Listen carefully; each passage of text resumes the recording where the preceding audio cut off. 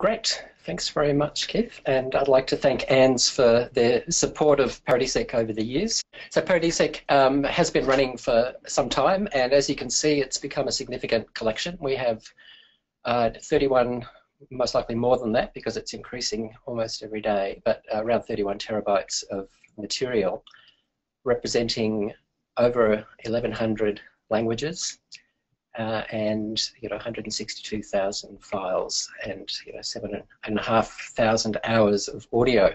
So it's a significant collection, and there's a huge uh, management task involved in that. And one of those uh, tasks also is making sure that this material is findable by the people we want to find it. We have a catalogue uh, that we've been working on for a number of years. We've built our own. Unfortunately, we didn't find one on, on the shelf that we could use. Uh, but the catalogue allows you to um, look at material with uh, geographic point of entry. You can do a faceted search.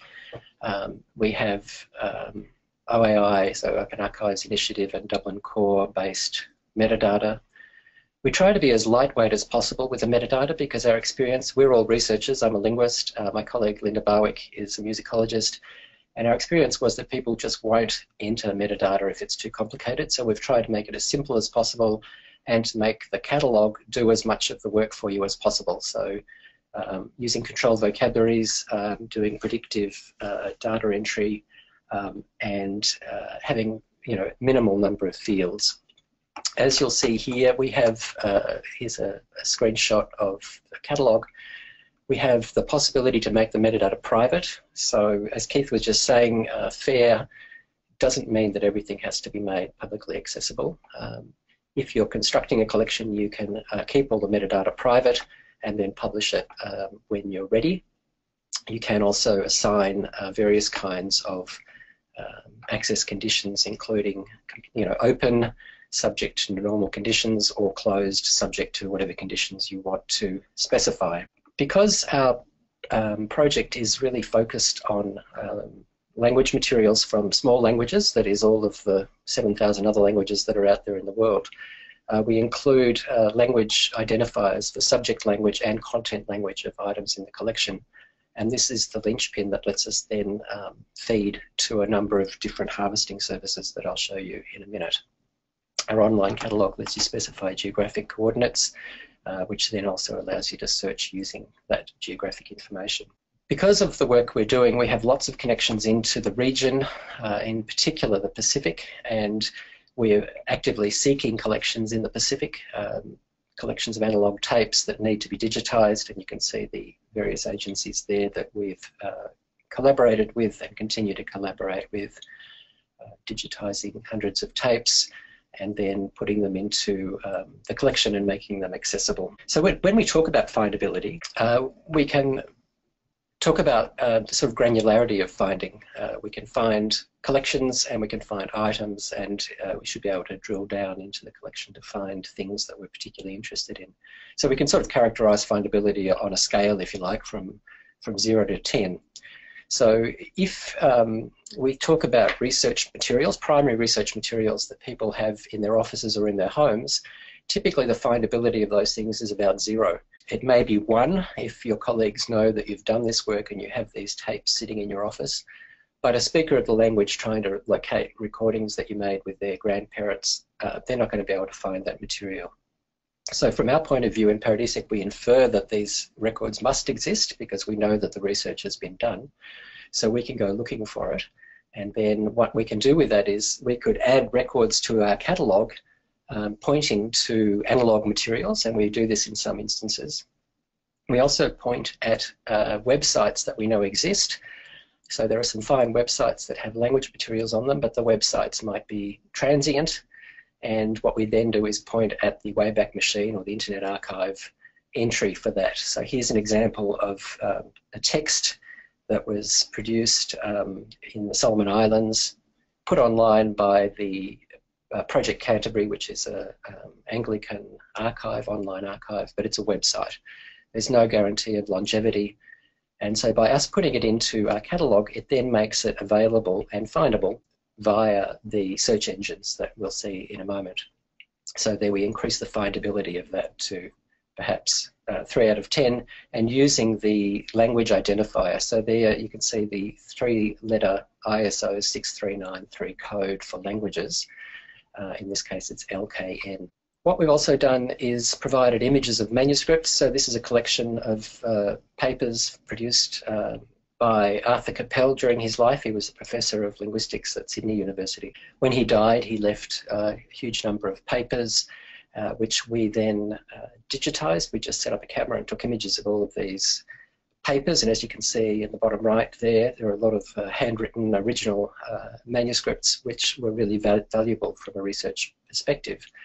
Um, but you know, sitting in a box in his executor's house, they're completely unfindable.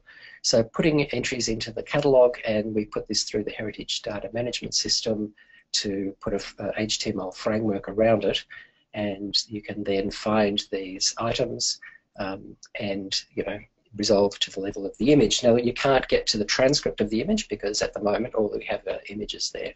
But one of the next things that we do to increase findability is to include transcripts together with recordings.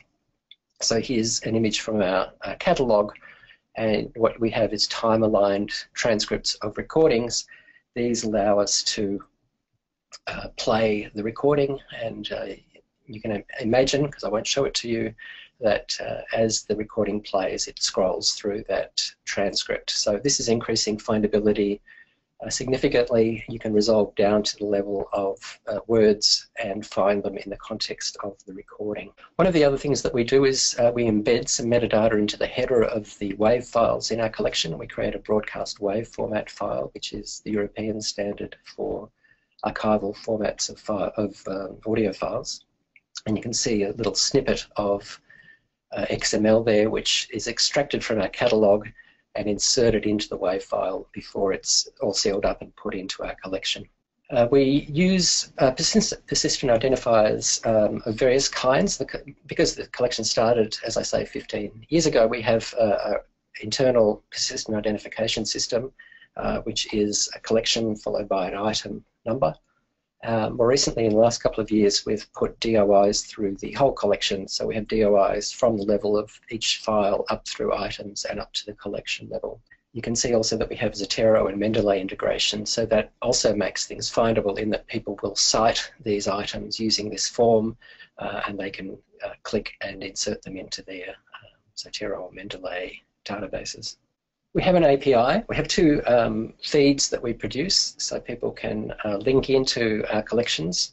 Uh, RIF-CS is at the uh, collection level, and that's what's harvested by Research Data Australia and other services. Trove also harvests that material. And the OAI PMH feed is primarily targeted at the Open Language Archives community. So linguists have been very good at setting up um, services uh, based around these language identifiers and the OLAC page allows you then to look at all the material that's produced by any one of their 60 member archives for any given language. So it's a fantastic resource for finding information about the world's languages. And if we update an item in our catalogue, then the nightly harvest uh, from OLAC will update that um, OLAC harvest the next day. Uh, so as you can see, Research Data Australia um, takes um, feed and, and produces it in interesting ways. So the, the benefit for us is not only that our material is more findable, but some of these services present the information in our catalogue in ways that we don't. So you can do faceted searches in some of these services. Um, and it also links into all kinds of other services and, and data providers that allow you then to do interesting new searches. There's the Open Language Archive community page. They have a faceted search on the right and uh, a whole lot of services that they provide advertised on the left there. Uh, if you're interested in languages at all, uh, the, the, we're really the, the one-stop shop for finding uh, information. What's, what's in any archive in the world in their harvested system. Uh, this is the Virtual Language Observatory, which is a European uh, service funded by Clarin in Europe. They also take our feed, and you can see that you can search our collection through that um, service as well, and WorldCat, um, the um, international catalogue of all libraries, also um, takes our feed. So that's sort of on the the the big picture side of it and international search engines. Uh, on the other side are the people that we want um, to find this material out in the Pacific. And we've been working very hard to get uh, material available in forms that can be accessed by people in the Pacific. On the top right, there's a really interesting little project that was run in Madang where they took um, recordings and played them at a local market and asked people in the market to uh, comment on the recordings, perhaps enrich the metadata in that way. They then sent that to us in a spreadsheet, which we were able to import into our catalogue. Um, at the bottom, you can see a speaker of one of the languages who happened into my office in Melbourne um, and uh, went through the collection and found his grandfather speaking, and he was quite amazed by, by that. So there's an example of how unfindable, I suppose, the material can be, that he had to come into my office to find it, and that's one of our big um, problems, is how to make um, the material in our catalogue um, accessible to people who aren't perhaps always looking around on the web because they just don't expect to find material in their language. On the left, there's uh, a man who's working in our office in Sydney. This was a, an ANDS funded project to enrich the um, PNG uh, metadata in our collections, and he's going through listening to material and uh, adding metadata where he can. So, one of the other ways that we're promoting the collection is by building a virtual reality project. So what you're looking at there is a, a, map of Vanuatu, and each of those shards of light coming up represents a language. Where there's a little symbol there, you can listen to a snippet of the language which comes out of the Paradisec collection, and you can see some information about how much uh, we know about the language, what if there's a grammar, if there's a lexicon, and so on, and how many speakers there are of that particular language. Now this is generating a lot of publicity. As you can see on the right, uh, there's an article from the Papua New Guinea Post Courier, and on the bottom right, there's an article um, from uh, written about this in Pursuit at Melbourne University, and so on. Getting this publicity is important. Uh, exactly so that people will then go to look in the catalogue and to find information or think about collections that they have that need to be digitised. Uh, so this is um, it's an investment of time and effort to build the virtual reality, but it's captured a lot of uh, public um, uh, attention.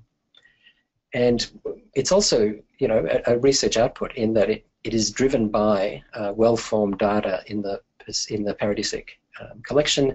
We've automatically snipped um, 20 seconds out of audio files and used the naming convention and the metadata that's in the catalogue to then uh, feed this virtual reality display. So ultimately we do want to get this material out to the Pacific and what's uh, amazing really is that now most people in the Pacific have mobile phones and are accessing the internet. Uh, on the right you can see uh, a poster for the internet on your phone in Port Vila in Vanuatu. And on the left, you can see a church, but above the church, there's a mobile phone tower, which is now the way that people are accessing all this kind of information. So we want to make our material findable for people in these remote locations, uh, even in the highlands of Papua New Guinea or in the most remote parts of the Pacific. So the catalogue is, is findable to them through various means, including, of course, Google, but we also need to make the data accessible, interoperable, and reusable for them, but I'm not going to talk about that now. So Paradisec um, created a standard metadata set that means that as the data comes in, it's described uh, with as a light touch, as I say. Uh, we apply as much metadata to items as possible, but for some of the legacy material, there's just very little metadata, and we have to infer what we can. Uh, we also rely on people putting that metadata in online if they can, or sending information to us. We are always open to enriching the metadata that's in the collection. The main point of the metadata is that you are able to then locate the primary records and have them played to you or see them or download them if you have the privileges.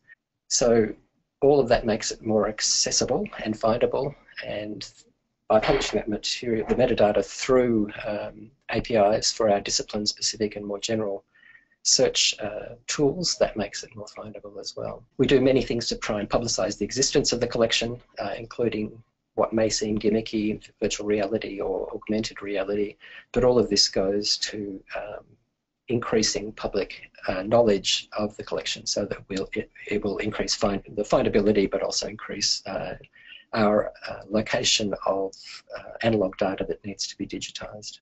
part of all of this uh, also requires um, data management um, training uh, so that people know about how to build their own collections. So we do a lot of training uh, of researchers here in Australia, but also um, in the Pacific. And we also have a lot of engagement with community agencies in the Pacific and try to get funding to run digitisation programs with those agencies. So that's our story about findability. Thanks.